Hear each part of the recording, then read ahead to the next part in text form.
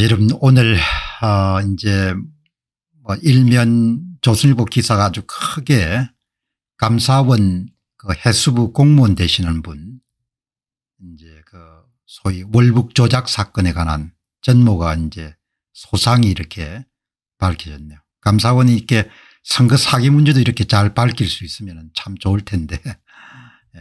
감사원 일단 감사 들어가니까 뭐 다 드러나네요. 예. 상대방이 이제 쏙 숨기고 싶었던 내용들이 뭐 낱낱이 백일화에 다 드러났는데 그 감사원이 감사 의지만 있으면 이렇게 모든 것을 다 밝힐 수 있구나라는 부분들을 한 번 더 확인할 수 있는 그런 기회입니다. 보시게 되면은 예. 월북과 배치되는 증거 나와도 해경청장은 나는 안 볼 것을 안 본 것으로 할게 뭐 이런 이야기가 자기들끼리 이제 주고받은 이야기겠지만 뭐 수사 들어가니까 다 나오지 않습니까 예. 서훈 북한 해역 생존 보고받고도 퇴근했다. 예. 자국의 공무원이 해상에 포류해 가지고 적 지하에 놓여 있다는 사실을 정보 보고를 받고도 안보를 책임지고 있는 안보실장이란 사람이 아무 조치도 취하지 않고 그냥 집으로 퇴근해버린 겁니다. 유족이 문재인 정권의 무너진 안보관 참사 참 제가 웃음밖에 표시할 수 없지만 말이 안 되는 것이죠. 감사원 서해 피격 은폐 왜곡과 관련해서 서훈 박지원 등 20명을 수사 요청했다. 상식적으로 생각하더라도 국가의 공권력이라는 것이 국민을 보호하는 것이 가장 중요한 임무지 않습니까 예.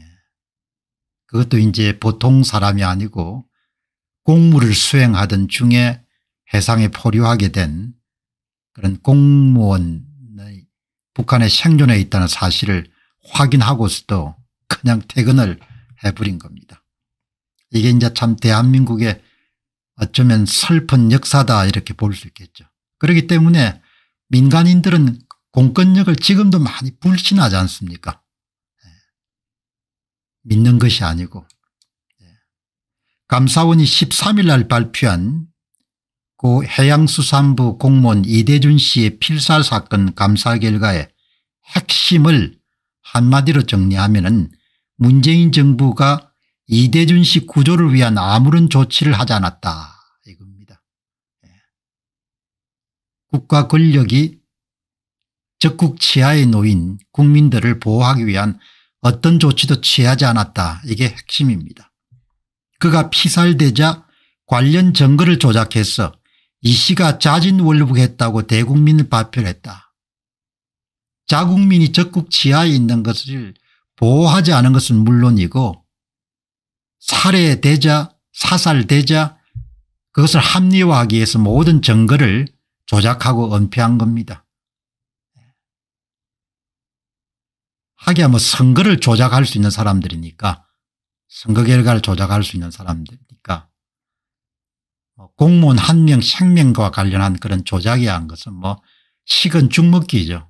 제가 늘 강조하지 않습니까 선거를 조작할 수 있는데 뭘 못하겠냐 이런 건 아무것도 아니라는 겁니다. 그가 피살되자 관련 증거를 조작해서 이대준 씨가 자진월북했다 이렇게 몰아붙인 겁니다. 정말 참 말이 안 나오죠. 감사원은 월북 조작을 한 전 정권 청와대 국가안보실이 사실상 주도했다고 지목하면서 청와대와 국방부 해경 등이 어떻게 은폐 조작했는지 형태를 자세히 공개했다. 쉽게 이야기하면 청와대의 안보실이 주도하고 그 다음에 안보실이 해당 공무원이 사살된 것을 확인하고 난 다음에 책임을 면하기 위해 가지고 청와대 국방부 해경 등의 관계자들이 모두 협력해서 월북자로 몰아붙인 거죠.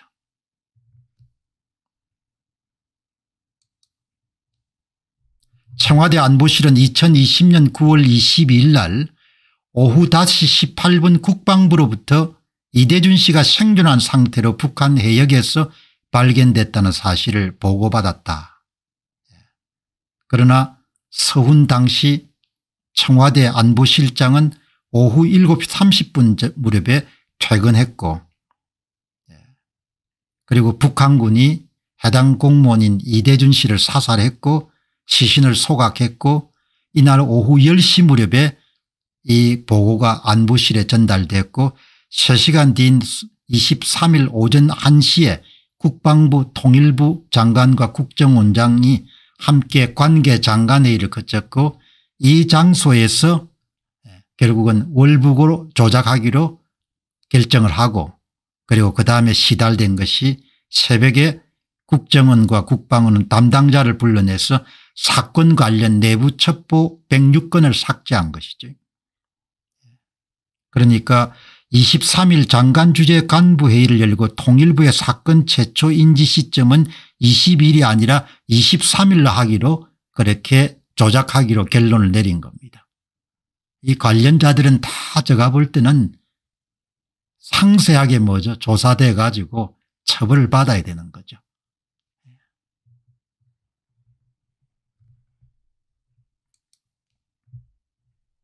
23일 오전 이대준 씨의 피살 사실을 문재인 대통령에 대면 보고하고 오전 10시쯤 관계 장관 회의를 열어서 이대준 씨가 자진 월북한 것으로 판단한다는 종합분석 결과를 보고하라고 국방부에 지시했다.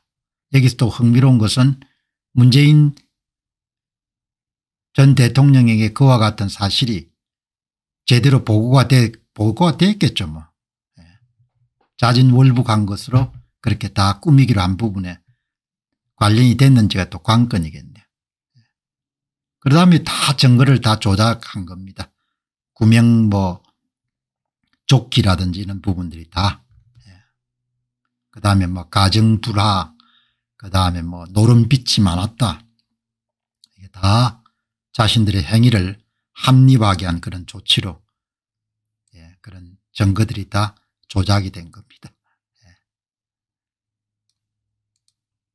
당시 해경청장은 나는 보고서를 안 본 것으로 할게. 예. 그러니까 뭐 그런 월북 사실이 아니라는 부분. 예.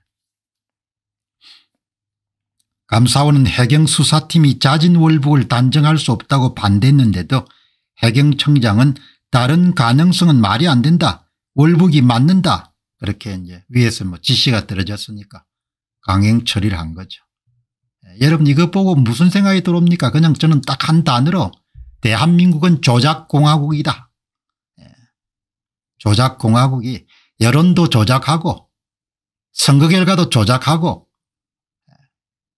해양수산부 여러분들 공무원 여러분들 월북도 조작하고 뭘 조작을 못하겠냐 이게 선거를 조작하는데. 선거를 조작하는데 국민 한 사람 죽음 정도 조작하는 것이 뭐 얼마나 쉽겠습니까? 이 사건에 대해서 그냥 청와대 안보실의 조작에 그냥 발끈할 수 있지만 이게 지금 대한민국의 실상이란 것이죠. 모든 것을 다 조작하고 죄의식도 없고 처벌도 받지 않고 예, 대낮이 대로를 활보할 수 있는 그런 사회가 돼버린 거지 않습니까?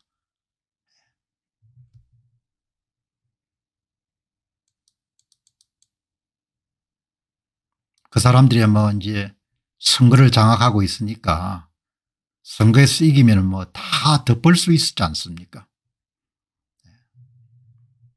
다 덮을 수 있었기 때문에 뭐 걱정을 전혀 안 했겠죠. 어쩌면 이렇게 조작할 수 있는 것도 정권 교체 가능성이 있고 이렇게 했으면 뭐 이렇게 조작했겠습니까 장기 집권이 가능하다고 확신했기 때문에 하고 싶은 마음대로 한 겁니다.